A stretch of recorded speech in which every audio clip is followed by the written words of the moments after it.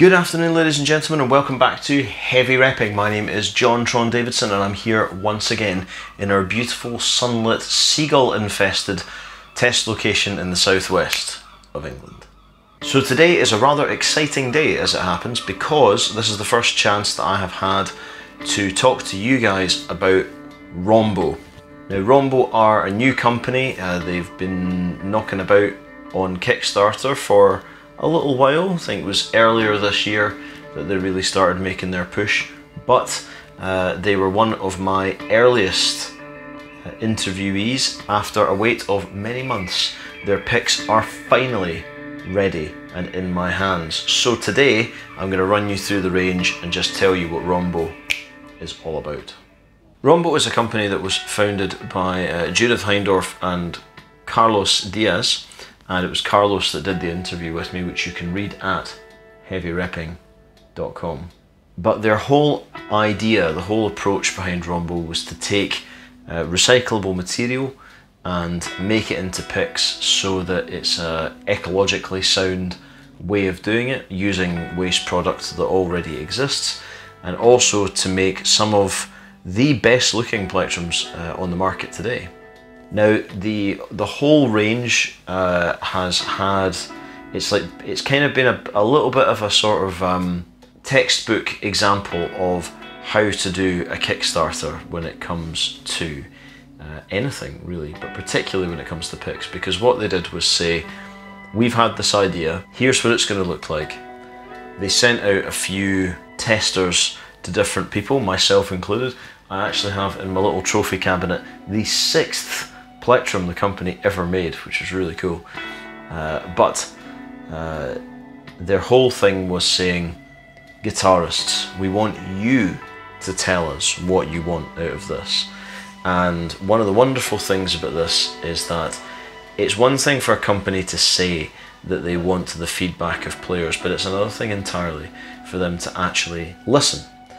Rombo listened. So when I got the original uh, prototype plectrum, the um, the origami as it's called. So when I got the original one of these, uh, the the grip could have been better, and it felt a little bit on the floppy side. And I can tell you, holding uh, the modern one here today, it's a very different experience. Uh, the material is much much stiffer and the grip is much much better and what they've done is said okay, rather than saying we'll make a design and then make it thinner or thicker, which is what a lot of companies do, what Rombo have done is they've kept the actual material the same, but then they've changed the shape and ergonomics of each plectrum, and each one has been designed for a specific purpose. Now what that means is that instead of having one pick, you've got four different designs, which I will show up here. You've got the Classic, Origami, Waves and the Diamond. The picks look amazing. Uh, all the little details like on the waves, you know, and all that sort of stuff. So what I'm going to do is I'm going to take each one and test it with the stick and we'll show you exactly what they sound like for the purposes for which they were designed. Let's go. So the very first one we're going to talk about is this. This is the Rombo Classic. This is the thinnest one of the four. It clocks in at a piffling 0.45 millimeters. You can see how much bend there is in it. This was designed specifically for acoustic strumming, acoustic recording, and ukulele. Now obviously, as it's been designed to work with a uke, uh, it's not going to be a 5mm thick piece of bronze.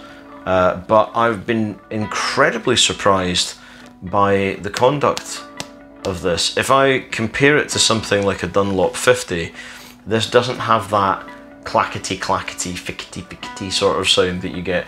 It's got an, it's got an oddly um, deep voice considering how little pick there actually is. And one of the things that Rombo have done across their range is they've polished the tips, but then they've put a lot of subtle ergonomics into uh, the grip area. So this one uh, has these little sort of triangular crisscrosses in it and that does give it, it's a little, it, it's enough grip so that if you were playing you would notice it uh, but not so much that it's like a Velcro situation. I also think they've done that partly because it will work with a lot of players' hands rather than working with one specific skin type. So, before I get too stuck into it, let's crack out the acoustic and see how she sounds.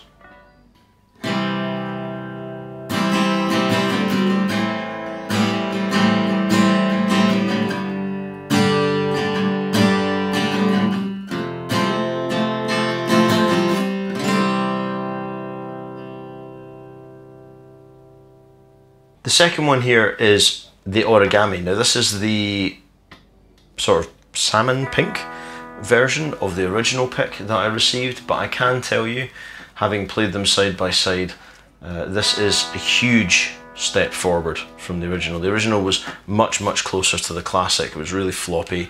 Uh, these are 0.75 of a mil.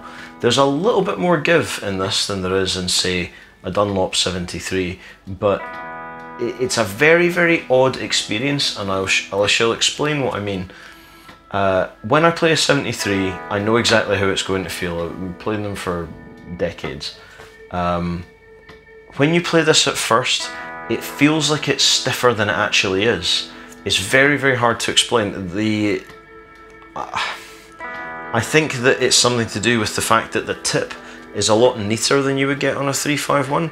Uh, the grip is very subtle. You can see in the top there, I hope I'll be able to show this on the camera, but there's a little sort of recess and that nestles against the, uh, the knuckle of your finger very well. So when I was playing, I would normally never use a pick this thin for the electric, um, but it's it's quite it's quite urgent and sort of poppy, I suppose would be the right way to describe it. Uh, there is, it says, it says in what's left of my beautiful packaging um, that it is uh, the right amount of flexibility for a snappy, fluid attack that's bright and crisp. And um, I've got to say, if that was the intention, that's certainly what it is. You're not going to get a lot of bass out of this, but in terms of a very relaxed, quite jaunty sound, with really, really good note separation, that's excellent. It really is. So, let's hear how she sounds.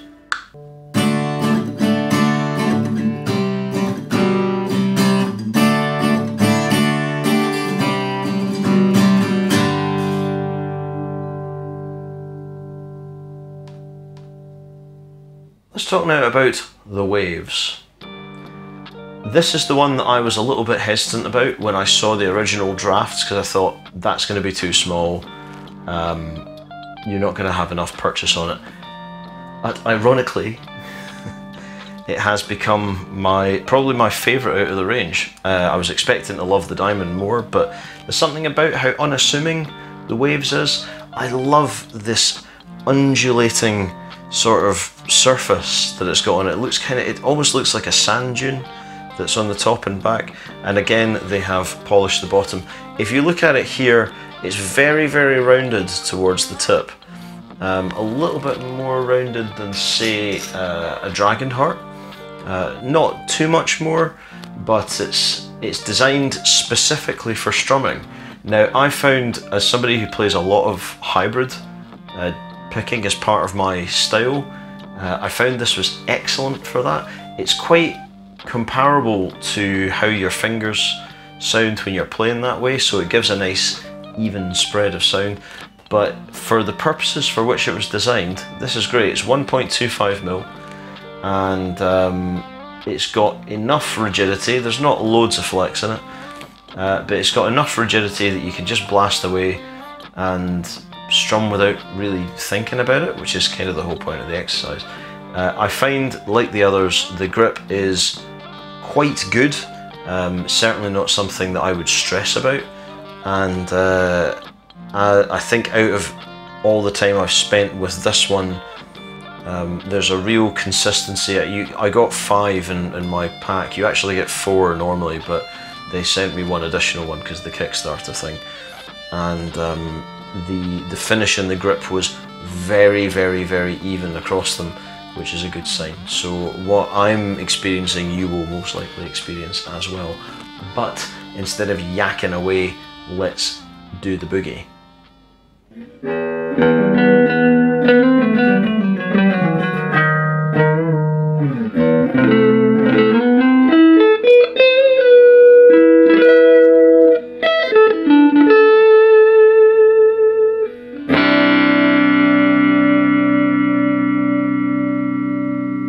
So we come now to the diamond. This is the one that uh, when I was talking to Carlos originally that I was the most excited about because it is the thickest.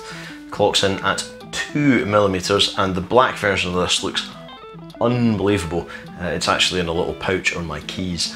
But this is this is the one that if you are watching heavy repping uh, as a regular viewer, it's probably the one you're going to be the most interested in, uh, because obviously the more more the more into boutique picks you are, the more used you are to seeing super super thick plectrums. However, what I would say is that this might surprise you a little bit in terms of what it does.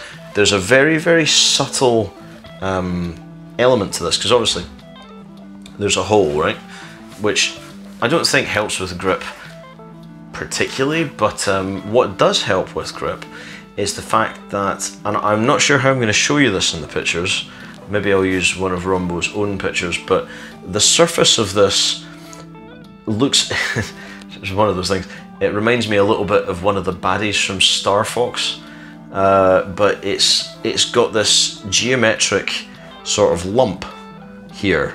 So just here on the surface, it's not flat, it sort of bulges out and then back in again. And that feels initially a bit strange, but really very secure. So I found that uh, the bevel that they've done on this, rather than it being a slope that you would get on something like uh, Dunlop 500 series, it's much closer to something like the Swiss Picks Rusty Cooley or just Swiss Picks in general. But even though these have relatively similar tip shapes, they couldn't, they honestly couldn't be more different. So polycarbonate, which is what that's made from, really, really pokey, really aggressive. Um, the pre-consumer recycled uh, sort of fiber material that this is made out of uh, has I'll tell you what it's like. I'll tell you what it's like actually. It's a little bit like a Jazz 3 Stiffo, but it's got um, more push to it and it's got uh, a slightly clearer note separation. It's a very, very hard pick to explain. So what I'm going to do is just let my guitar do the talking.